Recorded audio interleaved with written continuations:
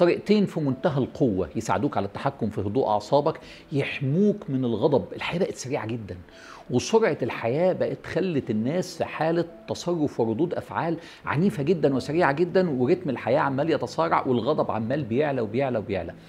أنا بتحداك. أنت لو نفذت الطريقتين دول أو واحدة من الطريقتين دول ويا سلام لو الاثنين مع بعض والاثنين علميتين جايين من العلم والاثنين روحانيتين جايين من سنة النبي صلى الله عليه وسلم. الطريقتين دول لو بدأت تعيش بيهم وتنفذهم لمدة شهر أو شهرين في حياتك أنا بتحداك. أنت مش هتغضب بعد كده ابدا. أنت هتقدر تتحكم في غضبك. أنت هتقدر تسيطر على أعصابك.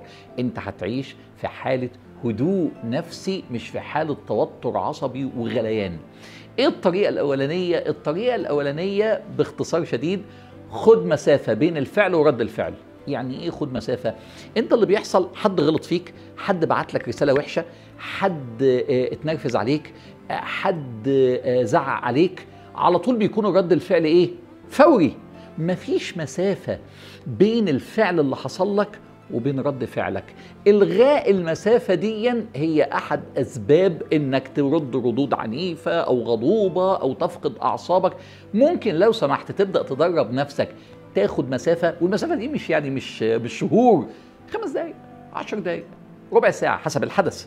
يوم لو الموضوع أكبر. لكن خد قرار إن أنا هتحكم في نفسي وفي رد فعلي. أنا مش بقولك إلغي رد الفعل بس خد مسافة. أخره أخر رد الفعل لدقايق معدودة أو حسب بقى الموضوع ساعة هرد عليك بكرة. حد بيستفزك اوعى تستجيب لاستفزاز حد. هرد عليك بكرة. وأوعى حد يجبرك إنك ترد. على فكرة أنا ما كانش عندي الصفة دي اتعلمتها. هرد عليك بكرة. طب ما ترد عليا دلوقتي. أنا أنا رد عليا وجاوبني وتدخل في حدوتة. هرد عليك بكرة. طب بس أنا معايا تليفون مهم 10 دقايق وارد عليك. أنت بتعمل ال 10 دقايق دول ليه؟ عشان تاخد مسافة بين الفعل وبين رد الفعل. الحياة المشحونة اللي إحنا عايشينها ألغت المسافة. إلغاء المسافة بين الفعل ورد الفعل هو اللي بيعمل الإشكالية الداخلية وبعدين الموضوع يتفاقم وتتحول لخناقة بينك وبين مراتك. أخر رد الفعل. طب والكلام ده آه، علميا ليه؟ علميا لأن العلم بيقول لك يجب أن يسبق التفكير السلوك. حد فاهم يعني إيه؟ يعني اوعى تتصرف قبل ما تفكر. فلو السلوك التصرف سبق التفكير أنت بقيت إنسان عشوائي. أنت أنت أنت أكيد هتخبط في الحيط. أكيد هتخسر. لأن الصح إن الوعي قبل السعي ده مبدأ إسلامي وجاي من علم النفس. الوعي. قبل السعي. التفكير قبل السلوك ده علميا. طب ومن سنة النبي أنت مش قلت ال- الحل علمي روحي؟ طب ومن سنة النبي يقول النبي صلى الله عليه وسلم إذا غضب أحدكم فليتوضأ. إيه علاقة الوضوء بالغضب؟ عشان تاخد المسافة. علشان على ما تروح تخش الحمام وتتوضى وتنزل المية كده وتبرد شوية هتعرف تاخد رد فعل مناسب للفعل اللي حصل لك. ممكن في الآخر تتخانق بس بناء على وعي. بناء على على إن أنت عارف أنت بتعمل إيه. وساعتها لما هتتخانق هتبقى متحكم في أعصابك. في نوعين من الناس وهي بتغضب. واحد غضبان ومش متحكم في أعصابه ده هيعمل مصيبة. واحد غضبان ورد فعله قوي لكن هو من جوه متحكم في نفسه. سنة النبي إيه؟ لو سمحت خد مسافة بين الفعل وبين رد الفعل. إيه؟ روح اتوضى. حاجة تانية يقول النبي صلى الله عليه وسلم إذا غضب أحدكم فليغير مكانه. يا رسول الله إيه العلاقة؟ لا العلاقة هي هي نفس الكلام العلمي. خد مسافة أخر رد الفعل على قد ما تقدر وأوعى تتكسف إن لازم أرد دلوقتي. مين قالك إن ده الصح؟ الصح التأخير. خلي بالكم يا جماعة الإسلام دين لا يدعو إلى الضعف. ولكن يدعو إلى التحكم في الأعصاب وده منتهى القوة. يقول النبي ليس الشديد بالسرعة اللي يرد على طول ولكن الشديد من يملك نفسه عند الغضب لأن اللي ملك نفسه عند الغضب ده اللي أكثر قوة. شوفوا الآية تقول إيه؟ والكاظمين الغيظ والعافين عن الناس والله يحب المحسنين. دي مش دعوة لل- للضعف. أمال دي دعوة لإيه؟ دعوة للتحكم في الذات وده أقوى. وحاجة تانية هو ما قالش والذين لا يغضبون قال والكاظمين الغيظ. يبقى معناها إيه؟ هو ربنا ما بيقولكش خليك بارد. أنت هتغضب لأنك بني آدم. لكن إزاي تكظم غيظك؟ إزاي تتحكم في غيظك؟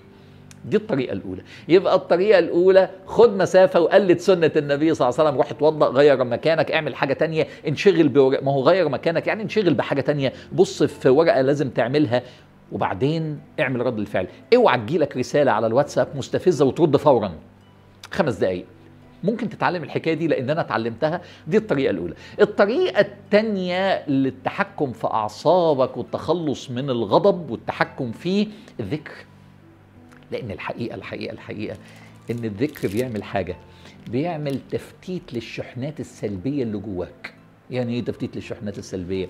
أصل هو الحقيقة الحقيقة نتيجة الحياة الصعبة اللي إحنا عايشينها أحيانا بيبقى رد فعلك اوفر جدا جدا جدا عن اللي حصل فيك. أنت مشحون من جوه وأنت عندك مشاكل تانية في الحياة فيجي واحد يغلط فيه غلطة غلطة. يقوم رد فعلك إيه يا عم ده؟ إيه رد الفعل العنيف ده؟ ده أكتر بكتير من اللي حصل فيك. مراتك بس غلطت فيك غلطة. تتحول إلى غضوب وحش عمال يتخانق. لا لا لا لا, لا. أنت في حاجة تانية مزعلاك. انت في حاجة تانية غضباك. انت بتتلكك أو انت ما قدرتش تتحكم في اعصابك نتيجة الكبت اللي جواك. الحل إيه؟ ورد الذكر. ورد الذكر بيعمل إيه؟ اهدى. صفي. دور الذكر في حياتك تصفية الروح من التشتت والغضب. دور الذكر في حياتك تفتيت الطاقة السلبية اللي جواك بذكر الله تتصل بمالك الملك. فتصغر في عينيك الدنيا وتهدى. أما طريقتين حلوين بشكل. تفتيت الطاقة السلبية بيسموها في العلم مديتيشن إنك تروح تتأمل. لكن لك يا سلام لو تعيش بال... بالإيمان بالإسلام وتعيش بسنة النبي أذكر ربنا تهدى. يقول الله تبارك وتعالى الذين آمنوا وتطمئن قلوبهم. اهدى. بذكر الله. ألا بذكر الله تطمئن القلوب؟ وسلتين رائعتين. ممكن تجربهم وتعيش بيهم وشوف فرق أعصابك. إيه أنا عشت بالذكر والحقيقة أنا طريقتي اتغيرت في الحياة أنا أكثر هدوءا. وأنا قررت أخد مسافة مع أي حد يضايقني وبعدين أرد. الحقيقة فرقت معايا في الحفاظ على علاقاتي. جرب الطريقتين وشوف فعلا حياة أحسن هتعيشها. شكرا والسلام عليكم ورحمة الله.